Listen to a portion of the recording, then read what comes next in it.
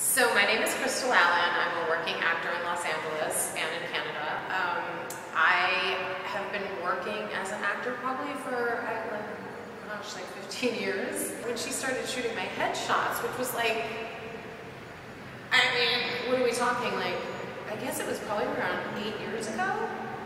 And she was my, like, she, I've never gone back to anyone. Never gone back. She's like my girl. She's amazing. Why is a great headshot so important in this industry? Well, it's literally what the casting directors first see. So if you're coming into the business, it is super important to have a, a, really good headshot because that's going to grab the casting director's eye.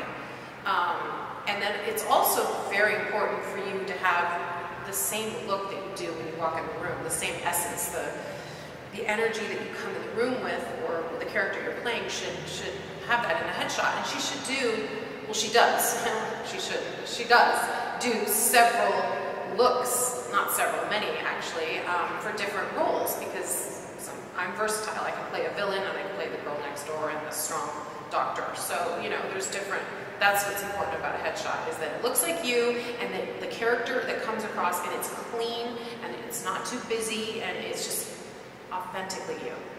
Maria is very special as a photographer. Why?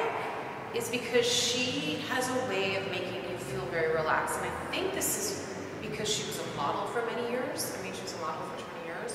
So, and an actor.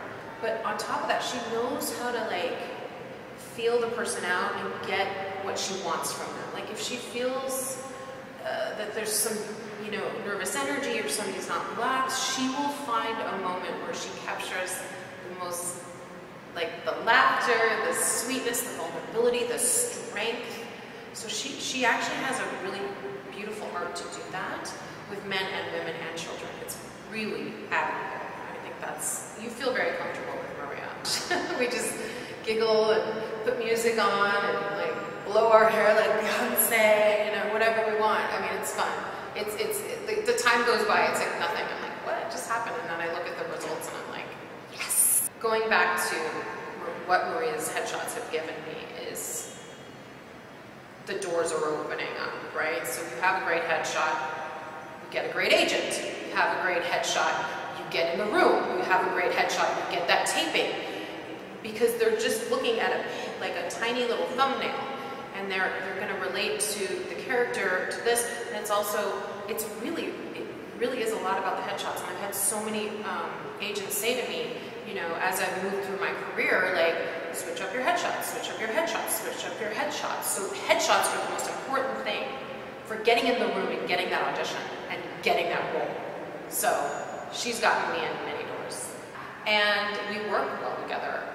I mean, you know, and that's what it's really about. It's really about a connection you have with that person, that photographer, or that friend, which is all the above, which Maria Tornberg is.